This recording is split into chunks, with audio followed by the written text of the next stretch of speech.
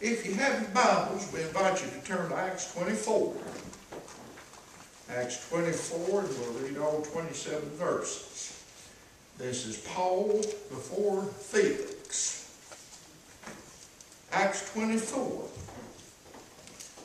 And after five days, Ananias the high priest ascended with the elders and with a certain order named Tertullus, who informed the governor against Paul. And when he was called forth, Tertullus began to accuse him, saying, Seeing that by thee we enjoy great quietness, and thou that very worthy deeds are done unto this nation by thy providence. We accept if always and in all places, most noble Felix, with all thankfulness. Notwithstanding that I be not further tedious unto thee, I pray thee, that thou wouldst hear us of thy clemency a few words. For we have found this man a pestilent fellow and a mover of sedition among all the Jews throughout the world, and a ringleader of the sect of the Nazarenes, who also hath gone about to profane the temple, whom we took and would have judged according to our law. But the chief captain uh, Lysias uh, came upon us and with great violence took him away out of our hands, commanding his accusers to come unto thee by examining of whom thyself mayest take us knowledge of all things whereof we accuse him. And the Jews also assented, saying that these things were so. Then Paul, after that the governor had beckoned unto him to speak, answered, Forasmuch as much as I know that thou hast been of many years a judge unto this nation, I do the more cheerfully answer for myself. Because that thou mayest understand that they are yet but twelve days since I went up to Jerusalem for to worship. And they neither found me in the temple disputing with any man, neither raising up the people, neither in the synagogue nor in the city neither can they prove the things whereof they now accuse me. But this I confess unto thee, that after the way which they call heresy, so worship I the God of my fathers, believing all things which are written in the law and in the prophets, and have found hope toward God, which they themselves also allow, that they shall be a resurrection of the dead, both of the just and unjust. And herein do I exercise my faith, uh, myself to have always a conscience void of offense toward God and toward men.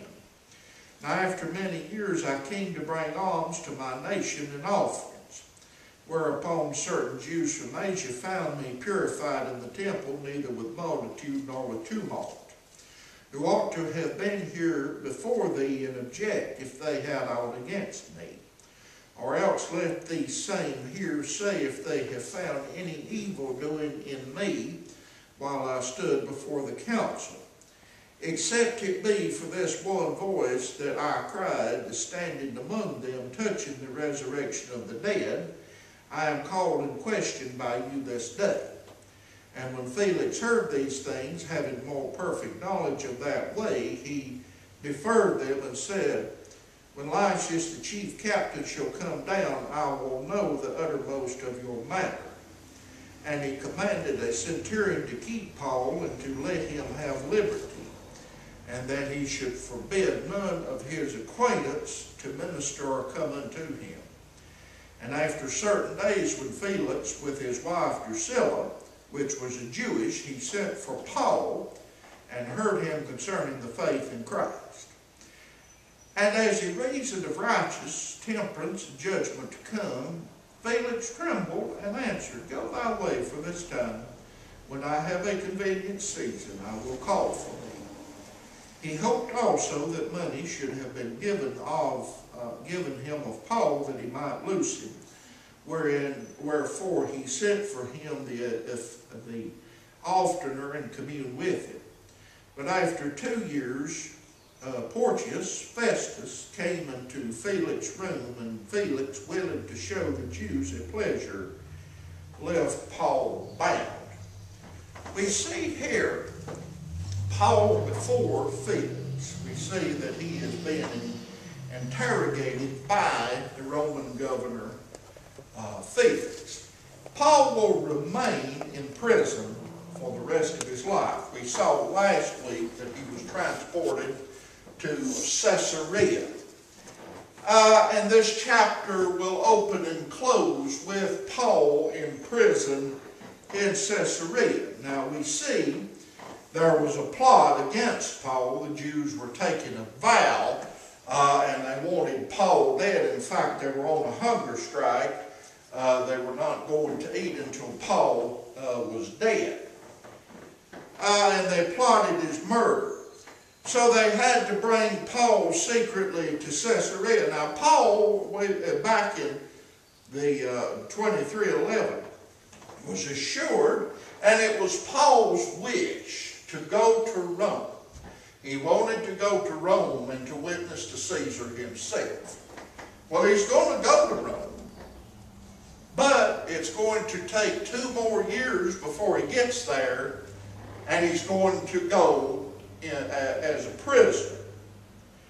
Now, Paul, I'm sure, he was human, he had a great faith in God, but I'm sure he had many ups and downs as he uh, was in prison. Perhaps he experienced some depression. The Lord didn't promise him that uh, the way would be easy. Paul would no longer be a free man. He would die in uh, prison. Uh, and we see before his final martyrdom, there was nothing but peril and danger. Actually, if you want to be technical about it, he had been experiencing these things since he was let down uh, in the basket over the wall at Damascus. Now we see Felix uh, reviews the charges against Paul uh, in the first 23 verses. And then in verses 1 through 9, we see the defamation by the prosecution. The Jewish high priest will come there to Caesarea, and he brings with him a lawyer named Tertullus. This Tertullus was a very brilliant, a very clever, and very well prepared lawyer. There's a lot of lawyer jokes, and I'm not going to try to tell them tonight. But uh, I guess the lawyer, a lawyer could be the best friend you ever have if he helps you. And if you're not helped, you ain't going to like him too good. But anyway, we see uh, the charges, and there's three charges left against Paul. First of all, he is a political rebel, the first five verses. He was uh, being accused of being a fomenter of troubles and a pest. Now, in that charge, he is in the same class as insurrectionists. And the Romans had absolutely no patience with insurrections. Uh, I believe if you look back in the intertestamental period, the 400 years uh, before Jesus came, uh, the, the Jewish revolts there in, the, uh, in that uh, period, and the Romans put down many uprisings, and we see that finally in 70 AD, just as Jesus predicted, uh, the temple there in Jerusalem would be destroyed. So the Romans did not have any use for civil disorder. People could go along their business, they could practice their religion, go about their life, but they did not put up for one minute with insurrection. So Tertullus, uh, he well knew that Rome would not stand for civil disorder, for any spark might become a flame. Now Tertullus, he knew it was a lie, but it was an effective charge. Paul was not guilty of this, but they're going to try to make him look guilty of this. Now, second charge, he was a ringleader of the Nazarene sect. And Paul was a leader of the sect of the Nazarenes. And uh, there were many movements there.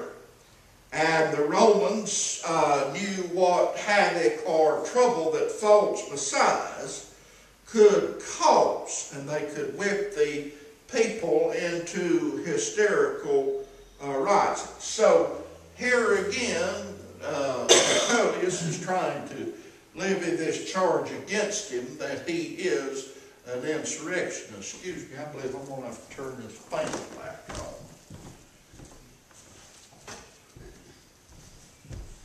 There's a lot of hot air up here, but anyway. And then the third charge, he was a temple defiler, verses 6 through 9. Now the Jews accused him, you know, he brought that uh, Gentile convert, accusing him of bringing him into the temple, which technically was a violation. But they were accusing him of trying to subvert the Jewish uh, religion, to defile the temple and so on and so forth. So Tertullus hoped that uh, uh, here the, the uh, those would take the side of the pro-Roman party. So we see the three charges against Paul. First of all, he's a mover of sedition. He is a leader of a rebellious sect, and he profaned the temple. So here are the charges, and now Paul will answer with his defense. Now, Paul is saying that he is delighted uh, to present his case before Felix. He knows that Felix has been a judge uh, of the people for a long time. He understood, Felix understood their customs, and Paul responds. Now, first of all, he says, uh, he denies the first and the third charges. And since Felix understands the customs of the Jews, Paul tells him that he went up to Jerusalem there to worship according to their custom. So, in substance, he's saying, I am in agreement with my nation.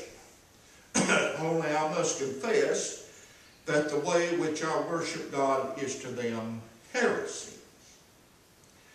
Uh, so Paul makes it clear that the way in which he worships is according to the message of his fathers in the Old Testament. And he, he affirms the second charge there in uh, verses uh, 14 and uh, 21.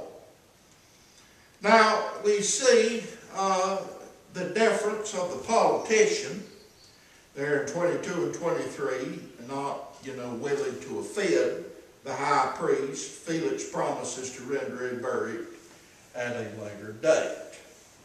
Now, secondly, Felix refuses the Christ of Paul.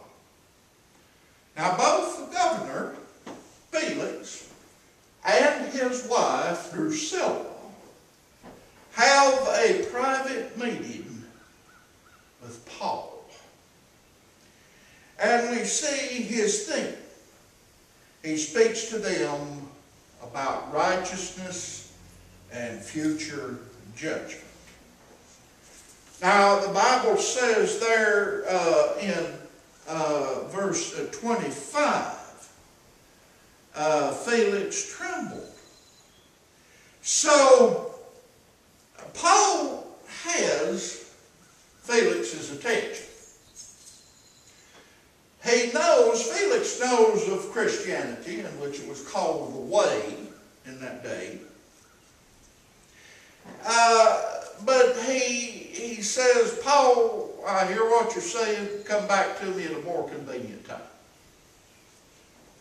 I want to say tonight, for the sinner, there is no uh, other convenient time. The Bible says, Behold, today is the day of salvation.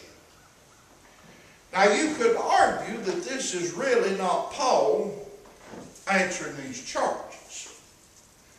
You could argue that Paul is using this opportunity to witness to Felix, to tell him of the gospel. This was Paul's main goal to tell of the Savior. Now, Felix, he was a freed slave, and through brutality and cruelty, he had risen to his position.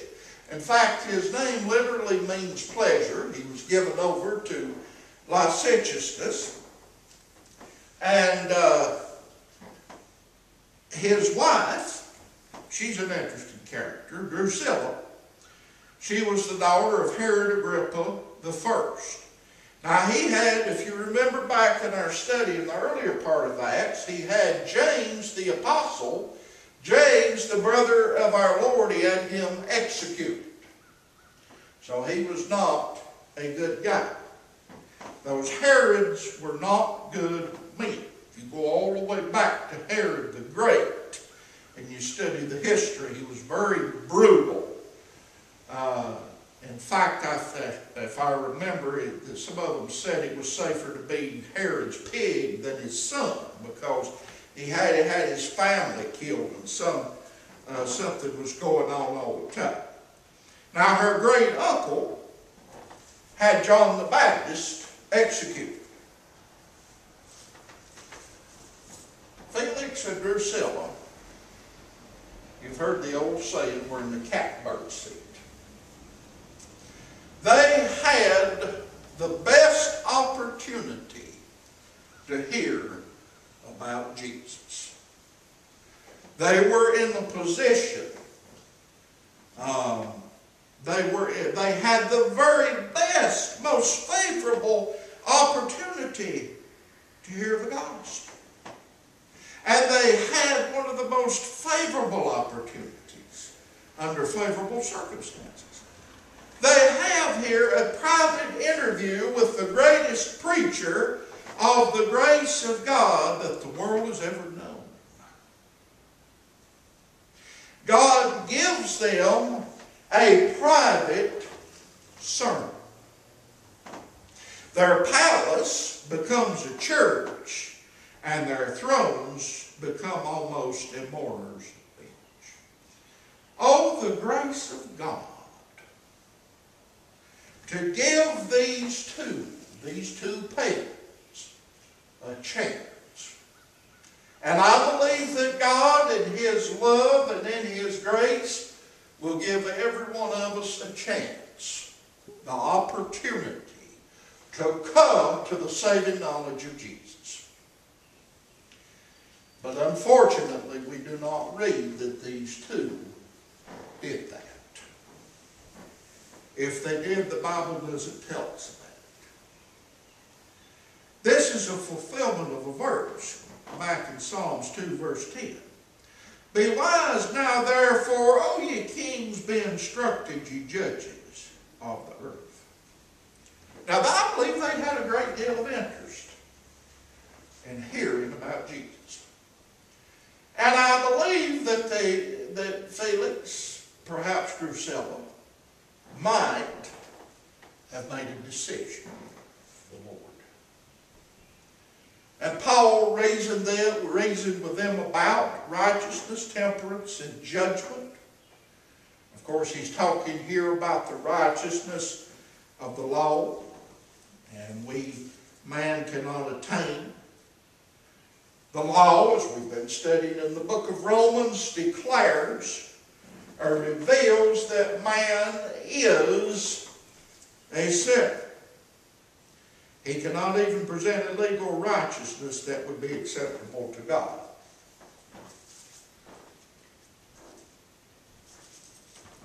In order to get to heaven, you've got to have the righteousness of God. Ours won't do. Ours is self-righteousness. All we we think we're good, we act good, but we're really not. And you know what the Bible says that our righteousness is as is filthy rags, no good thing dwelleth within. And also, something has to be done with the sin problem. That absolutely cannot be glossed over for God to remain righteousness, righteous and holy. Either our sins have to be uh, put on Jesus in his death by his blood, or they're on us to pay for eternally, and there is no way that that could ever be repaid.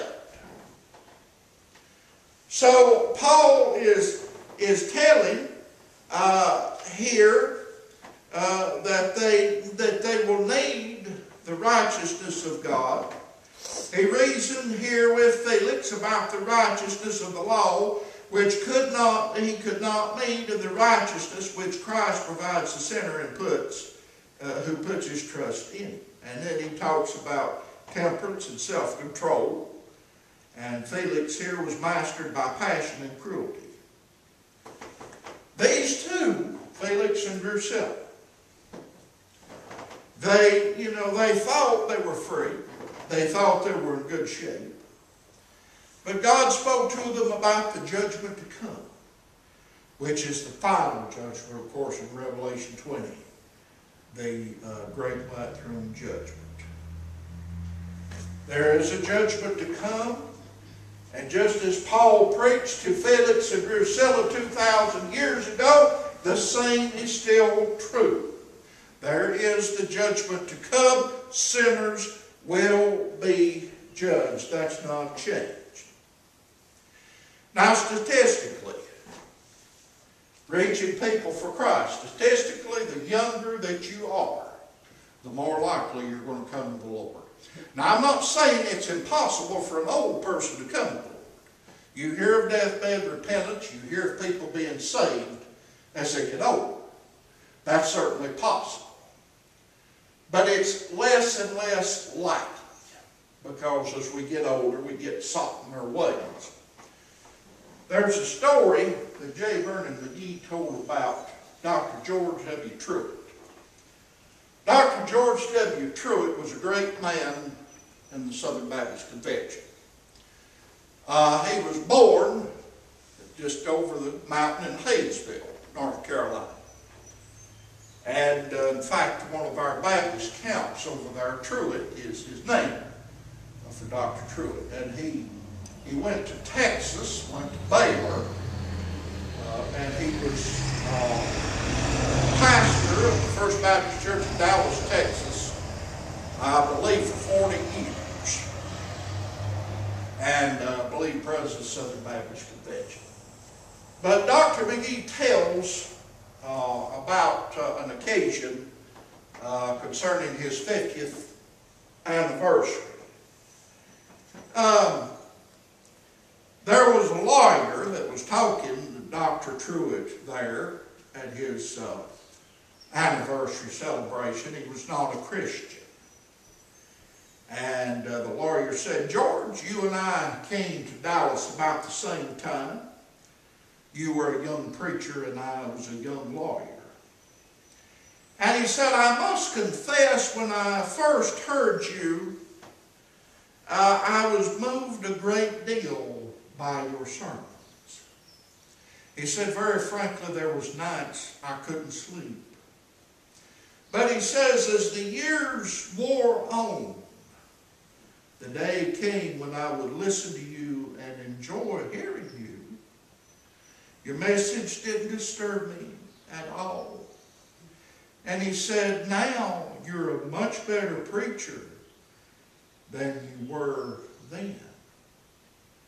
The lawyer chuckled about it, but he didn't realize how tragic it, it was. He didn't realize the place to which he had actually come. He said, as Felix, Go thy way for this time when I have a convenient season. I will call for thee, said Felix. We don't read that that time ever came for Felix or from that lawyer there in Texas. God gives us a chance to come to Him.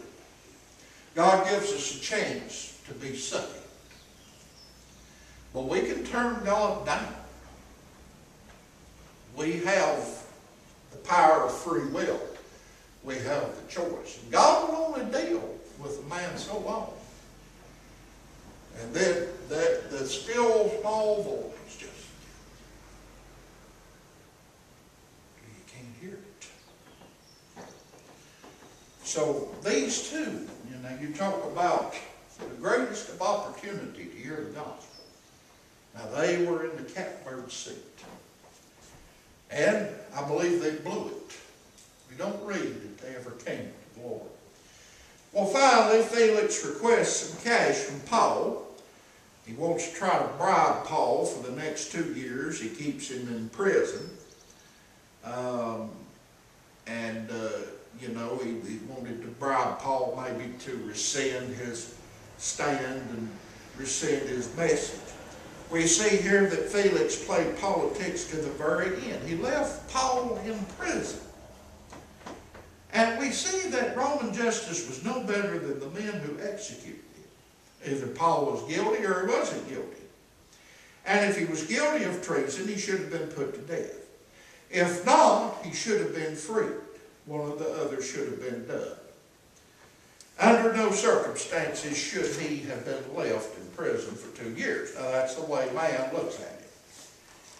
But God, you know, had a purpose for Paul being in prison. Number two